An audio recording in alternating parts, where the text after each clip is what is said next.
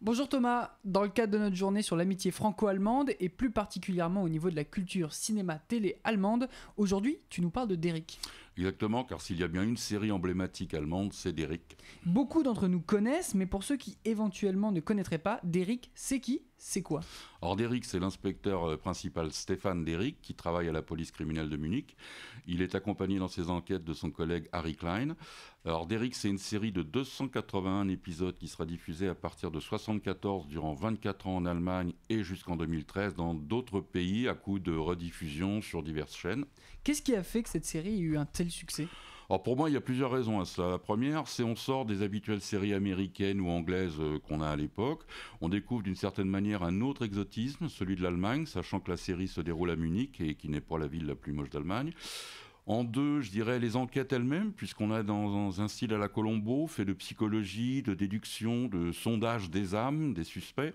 Alors comme Colombo, Derrick sort rarement son arme. En fait, il la sortira dix fois en 24 ans.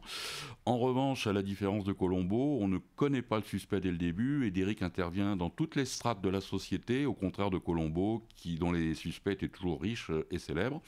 En trois, euh, on y trouve des guests, alors évidemment connus du public allemand, mais pas que, puisqu'on aura quand même des gens comme euh, Kurt Jürgens ou Horst Buchholz, des sept mercenaires qui joueront dedans. Et puis il y a aussi l'acteur, non? Alors euh, ça tient aussi au personnage d'Eric lui-même, grand, carré, rassurant, intelligent, toujours élégant avec ses costumes, ses lunettes cerclées d'or ou sa grosse montre en or. D'Eric, ça nous dit quoi de l'Allemagne? Alors ça nous dit plusieurs choses. En premier, ça nous montre une Allemagne opulente, sortie de la guerre 30 ans auparavant, au démarrage de la série, donc en 74.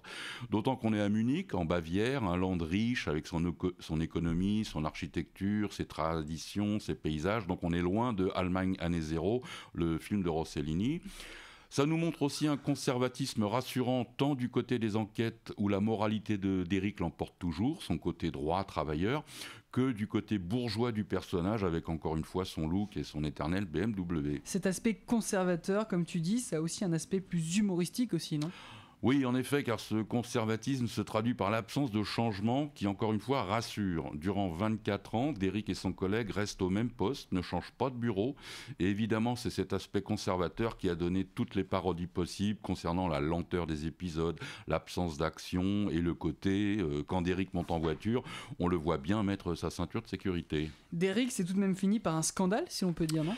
Oui, en 2013, euh, la ZDF, qui rediffusait la série, l'a arrêté quand un journal allemand a révélé que Horst Tappert, qui interprétait, interprétait Derrick, donc, avait appartenu à la Waffen-SS et avait été euh, affecté à la division SS euh, Totenkopf. D'autres chaînes en France ou à l'étranger feront de même, sachant que la série avait été vendue dans plus d'une centaine de pays. Une anecdote? Plutôt un point d'ironie, à savoir que la ville de Munich où se déroule l'action de la série désignera Horst Tappert commissaire d'honneur de la ville en 1980. Or, n'oublions pas que Munich a été dans les années 20 le berceau du mouvement nazi, même si on, ne peut évidemment pas résumer Munich à cette partie de son histoire. Et donc son commissaire euh, d'honneur se verra rattrapé par ce même passé un peu encombrant.